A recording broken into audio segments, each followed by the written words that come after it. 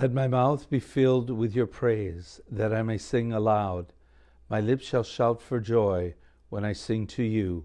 Alleluia. In the name of the Father, and of the Son, and of the Holy Spirit. Peace be with you.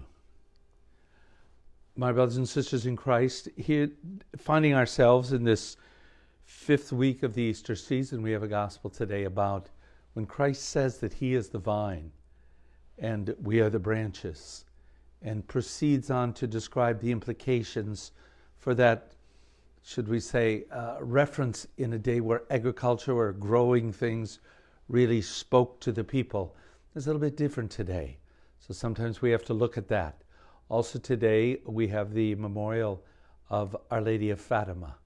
So let us keep Our Lady very much in mind as we place ourselves before this table of the Lord for the holy sacrifice of the Mass and prepare by recalling to mind those times when we have sinned and asking our Lord's forgiveness. I confess to Almighty God and to you, my brothers and sisters, that I have greatly sinned in my thoughts and in my words, in what I have done and in what I have failed to do. Through my fault, through my fault, through my most grievous fault. Therefore, I ask, Blessed Mary, ever Virgin, all the angels and saints, and you, my brothers and sisters, to pray for me to the Lord our God. May Almighty God have mercy on us, forgive us our sins, and bring us to everlasting life. Lord, have mercy. Christ, have mercy. Lord, have mercy. Let us pray.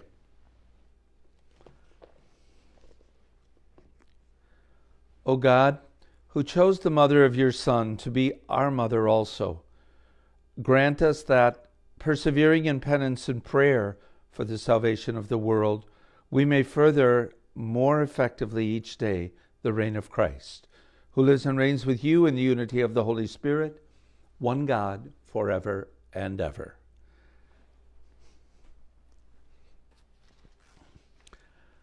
Our first reading is a reading from the Acts of the Apostles. Some who had come down from Judea were instructing the brothers Unless you are circumcised according to Mosaic law, you cannot be saved.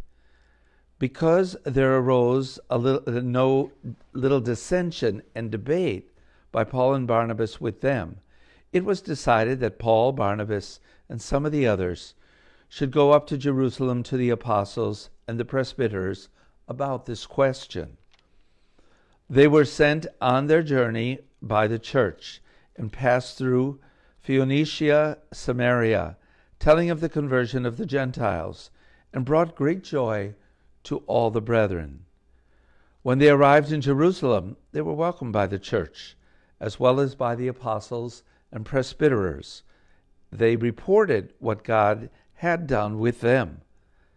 But some from the party of the Pharisees who had become believers stood up and said,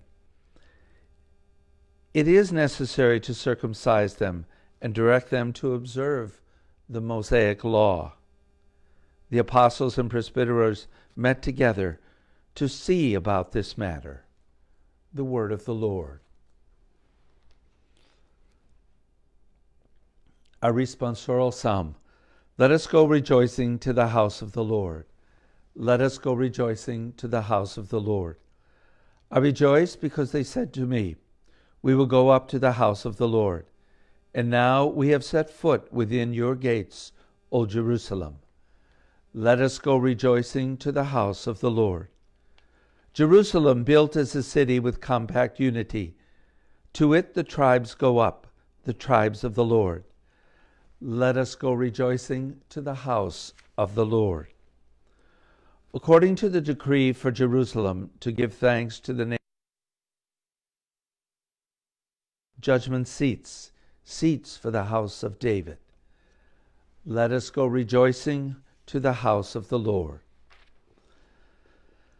Alleluia Alleluia Alleluia Remain in me as I remain in you, says the Lord. Whoever remains in me will bear much fruit. Alleluia, Alleluia, Alleluia. The Lord be with you. A reading from the Holy Gospel according to John. Jesus said to the disciples, I am the true vine, and my Father is the vine grower. He takes away every branch in me that does not bear fruit, and every one who does, he prunes so that it bears even more fruit.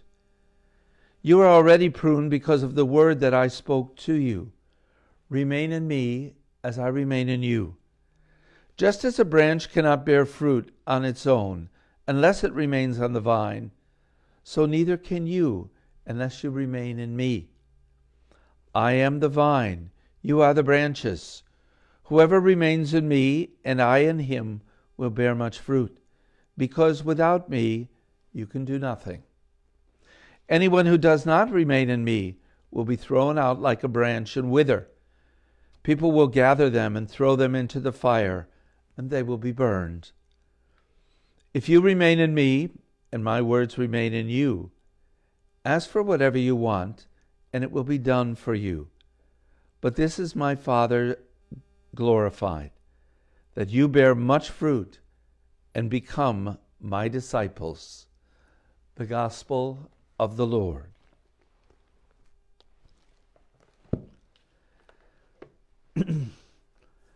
this Gospel that we hear today begins, if you want to call it the second portion of a farewell discourse in the Gospel of John that Jesus is giving, or you can call it the second discourse. As noted yesterday, the first one, the target, the focus, the audience was apostles, disciples. Now Jesus is giving it in a much broader way, the church, where we hear this parable of the vine. Now, the people hearing this back in the day, immediately when they heard vine, it would indicate to them the people of Israel. That's what was understood to be the vine. However, we have clearly, uh, uh, we've changed, in a, so to speak. The vine here is Jesus Christ. A matter of fact, so much so that Christ says, and right out of the blocks, I am the true vine. Now remember, I've said this any number of times that I am has huge significance in the Gospel of John. And to the audience hearing that, I am. Why? That was the name given to God in the burning bush. Because Moses asked, Who are you? And he said, I am who am. So every time Christ uses that I am, he is really stating his divinity.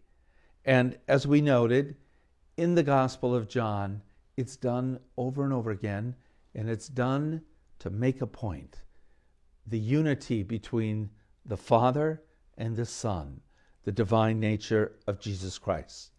Now, I noted that this second one was for this second farewell discourse was for the church. And clearly, a disciples' communion with Jesus Christ is also with God. We can't miss that woven in and out because we hear that, uh, and my Father, that term, either the Father, my Father, is the vine grower the role that God is playing in all of this is right together with Jesus. They're, they're interacting, one is acting for the other, one is announcing through I am their relationship that they are God also. So, the inner spiritual reality of what's going on here can't be missed. Jesus is the new vine. He says not only, he uses the word, I am the true vine that is that idea that the, the house of Israel was. It's taken right out of the picture. The true vine, it's Jesus Christ. And we hear that. As noted, that, that I am that said.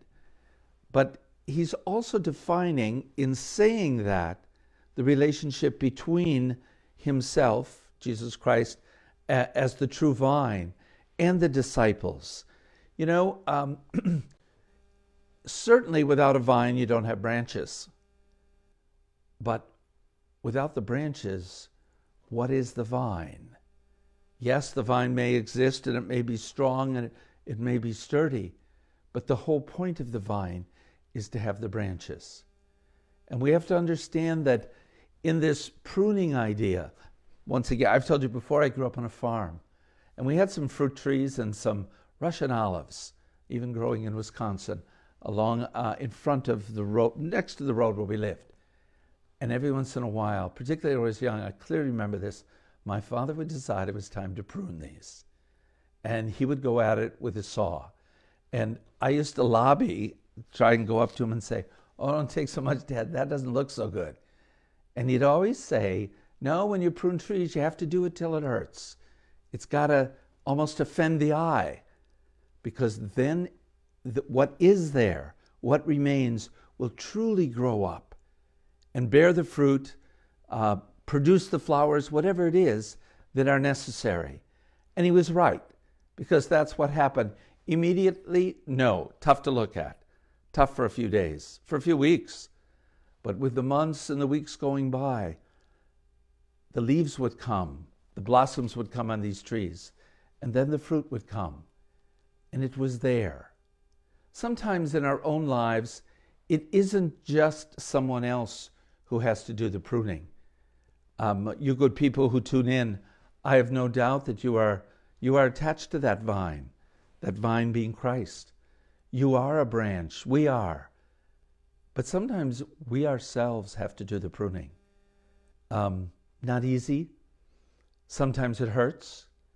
But we're called, in a sense, to produce more fruit, to produce the better fruit, in, in a sense, to, to blossom as we must, as one who is getting the strength from the vine and making the respective branches, you and I, stronger.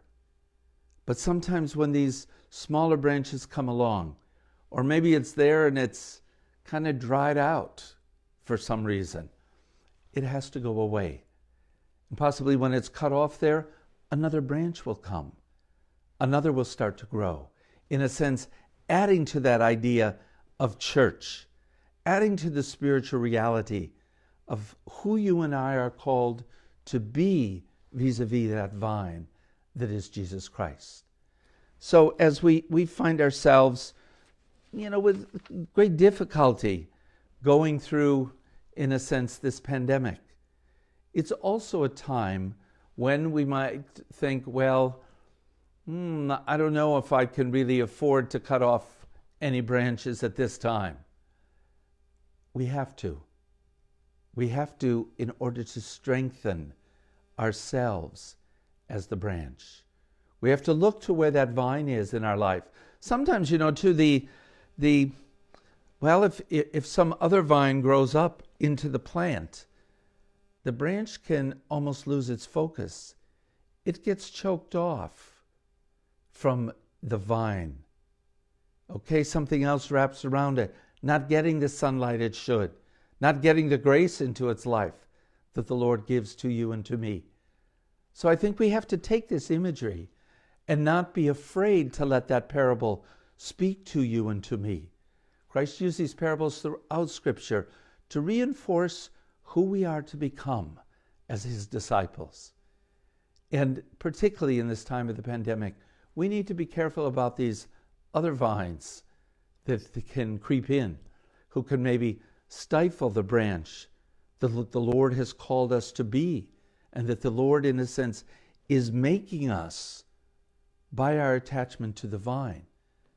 But some, if you want to call it, I think in Florida we call them invasive species. It could be sin, Satan. We have to be careful that those types of species do not, in a sense, choke us as a branch, uh, separate us in some way from the vine. Because if that happens, that branch will die. It gets its strength, it gets its nourishment, it gets the, the water that it needs to, to survive and to produce from the vine. And who's the vine? The true vine? Jesus Christ. Yeah, others will come along and say they are the vine. And in a sense, you know, uh, we might try and gra- graft ourselves, as they say with trees and vines, over to another. Be cautious. Be certain it's the true vine. When that change comes about in your life and that grafting is done, and maybe you're moving on to some, be certain that you find yourself attached to the true vine, Jesus Christ. You know, I noted that we have an optional memorial today for the, the optional memorial of Our Lady of Fatima. Truly, the greatest disciple of all was Our Lady.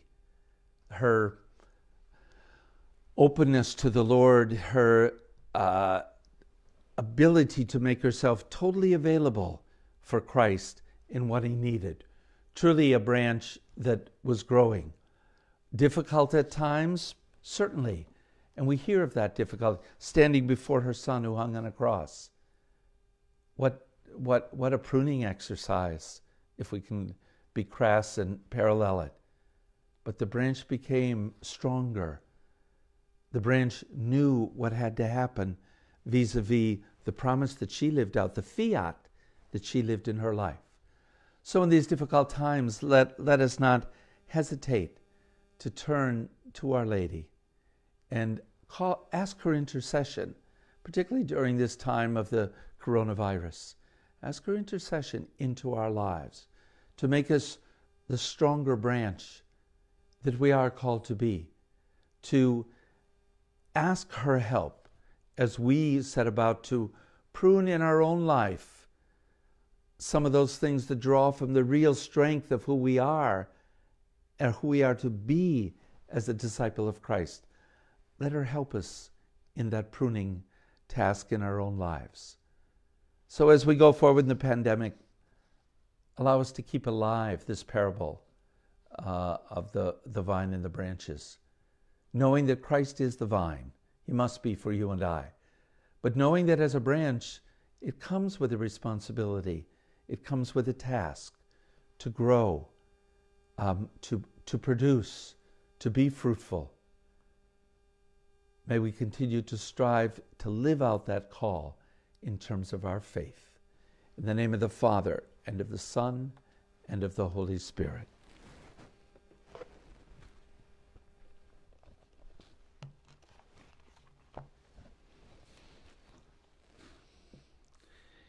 In the confidence and trust that we place in our Lord, let us now bring our needs and petitions before God, the giver of all that is good.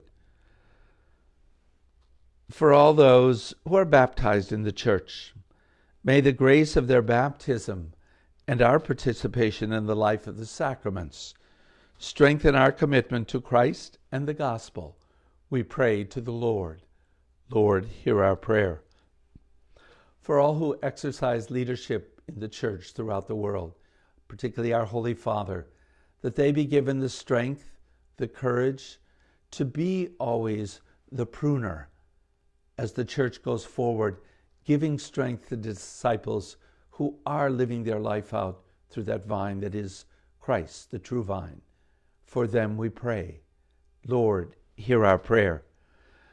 For the sick and all those in need of God's healing this day, whether they be struck by the coronavirus or whatever other illness, physical, mental, whatever that may touch them. For them we pray. Lord, hear our prayer. For all those who tune in to this Mass today and their families, that the Spirit of Christ continue to nourish all of us and help us to bear fruit for the kingdom.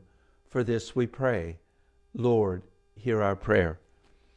For those who have died, particularly during the pandemic, but also from any illness, that they continue on their journey to the Lord and that the Lord give his consolation to those who miss them, who have lost, lost loved ones.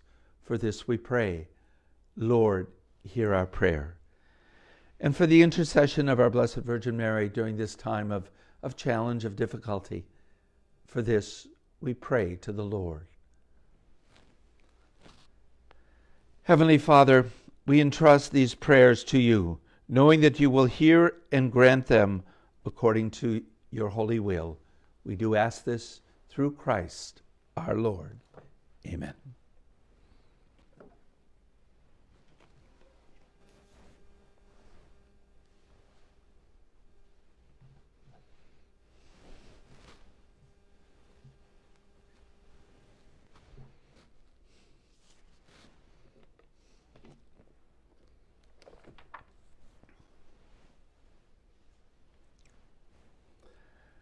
Blessed are you, Lord God of all creation, for through your goodness we have received the bread we offer you. Fruit of the earth and work of human hands, it will become for us the bread of life. Blessed be God forever.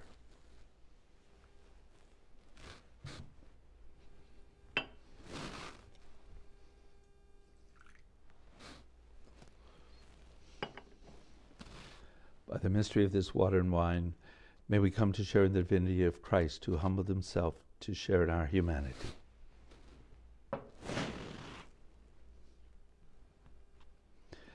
Blessed are you, Lord God of all creation, for through your goodness we have received the wine we offer you, fruit of the vine and work of human hands.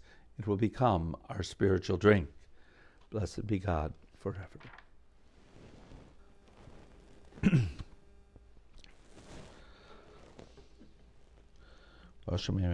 please cleanse me from all my sins.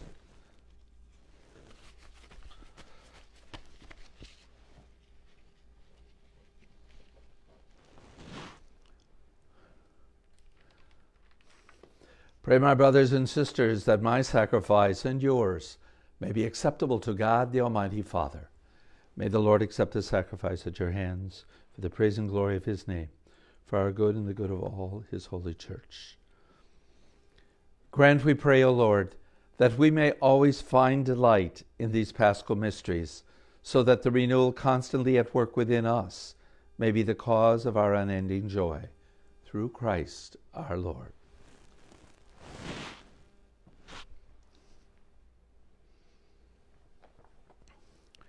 The Lord be with you. Lift up your hearts. Let us give thanks to the Lord our God. It is truly right and just, our duty and our salvation, at all times to acclaim you, O Lord, but in this time above all to laud you yet more gloriously when Christ our Passover has been sacrificed. He never ceases to offer himself for us, but defends us and even pleads our cause before you. He is the sacrificial victim who dies no more, the Lamb once slain who lives forever. Therefore, overcome with paschal joy, Every land, every people exalts in your praise, and even the heavenly powers with the angelic hosts sing together the unending hymn of your glory as they proclaim Holy, holy, holy, Lord God of hosts, heaven and earth are full of your glory. Hosanna in the highest. Blessed is he who comes in the name of the Lord. Hosanna in the highest. You are indeed holy, O Lord, and all you have created rightly gives you praise. For through your Son, our Lord Jesus Christ, by the power and the working of the Holy Spirit, you give life to all things and make them holy. And you never cease to gather a people to yourself, so that from the rising of the sun to its setting, pure sacrifice may be offered to your name. Therefore, O Lord, we humbly implore you, by the same Spirit, graciously make holy these gifts we have brought to you for consecration, that they may become the body and blood of your Son, our Lord Jesus Christ, at whose command we celebrate these mysteries. For on the night he was betrayed, he himself took bread, and giving you thanks, he said the blessing, broke the bread, and gave it to his disciples, saying, Take this, all of you, and eat of it, for this is my body, which will be given up for you.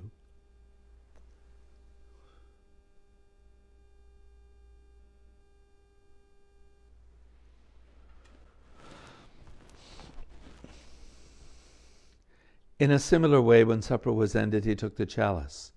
And giving you thanks, he said the blessing, and gave the chalice to his disciples, saying, Take this, all of you, and drink from it, for this is the chalice of my blood the blood of the new and eternal covenant, which will be poured out for you and for many for the forgiveness of sins.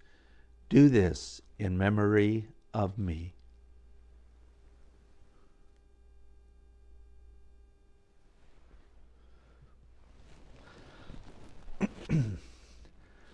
the mystery of faith.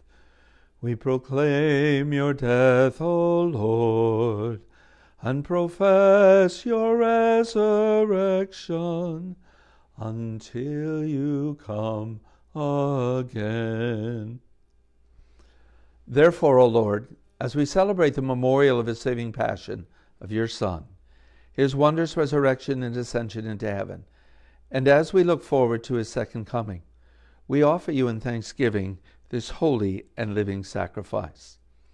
Look, we pray, upon the oblation of your church, and recognizing the sacrificial victim by whose death you willed to reconcile us to yourself. Grant that we who are nourished by the body and blood of your Son, and filled with his Holy Spirit, may become one body, one spirit in Christ. May he make of us an eternal offering to you, so that we may obtain an inheritance with your elect especially with the most blessed Virgin Mary, Mother of God, with blessed Joseph, her spouse, with your blessed apostles and glorious martyrs, and with all the saints on whose constant intercession in your presence we rely for unfailing help. May this sacrifice of our reconciliation, we pray, O Lord, advance the peace and salvation of all the world. Be pleased to confirm in faith and charity your pilgrim church on earth. With your servant Francis our Pope, me, your unworthy servant, the order of bishops, all the clergy, and the entire people you have gained for your own. Listen graciously to the prayers of the family whom you have summoned before you. In your compassion, O merciful Father, gather to yourself all your children scattered throughout the world. To our departed brothers and sisters, and to all who were pleasing to you at their passing from this life, give kind admittance to your kingdom.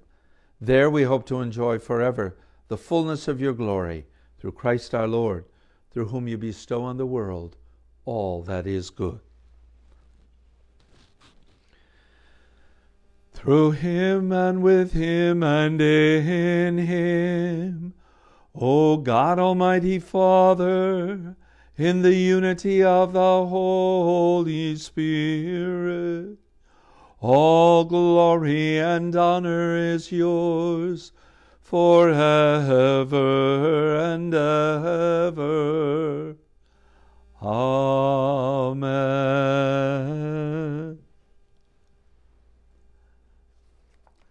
At the Savior's command, informed by divine teaching, we dare to say, Our Father, who art in heaven, hallowed be thy name.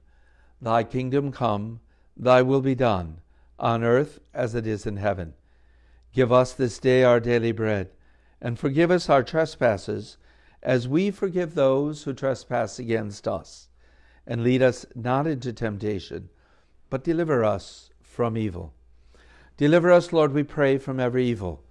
Graciously grant peace in our days, that by the help of your mercy we may be always free from sin and safe from all distress, as we await the blessed hope and the coming of our Savior, Jesus Christ. For the kingdom, the power, and the glory are yours now and forever. Lord Jesus Christ, who said to your apostles, My peace I give you, my peace I, I leave you. Look not on our sins, but on the faith of your church, and graciously grant her peace and unity in accordance with your will, who live and reign forever and ever. The peace of the Lord be with you always. Lamb of God, you take away the sins of the world have mercy on us. Lamb of God, you take away the sins of the world, have mercy on us. Lamb of God, you take away the sins of the world, grant us peace.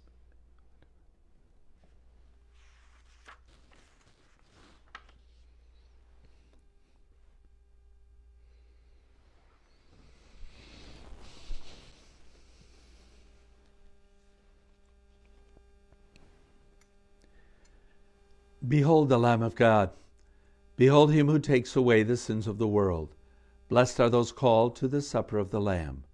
Lord, I am not worthy that you should enter under my roof, but only say the word, and my soul shall be healed. May the body of Christ keep me safe for eternal life.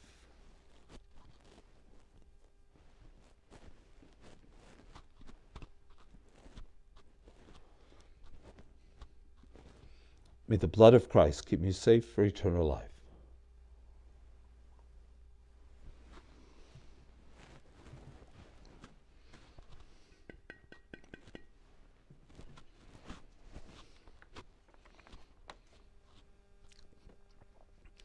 An act of spiritual communion. My Jesus, I believe that you are present in the most holy sacrament. I love you above all things, and I desire to receive you into my soul. Since I cannot at this moment receive you sacramentally, come at least spiritually into my heart. I embrace you as if you were already there, and unite myself wholly to you. Never permit me to be separated from you. Amen.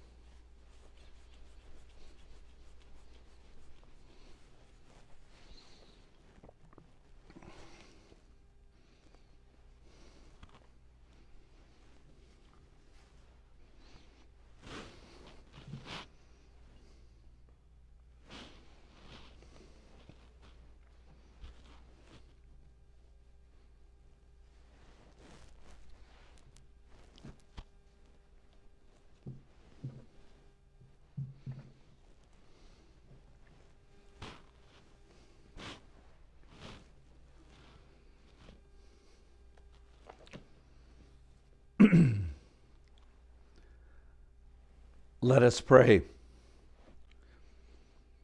Hear, O Lord, our prayers, that this most holy exchange by which you have redeemed, bring your help in this present life, ensure us through Christ our Lord. The Lord be with you, and may Almighty God bless you, the Father, the Son, and the Holy Spirit. The Mass is ended. Go in peace.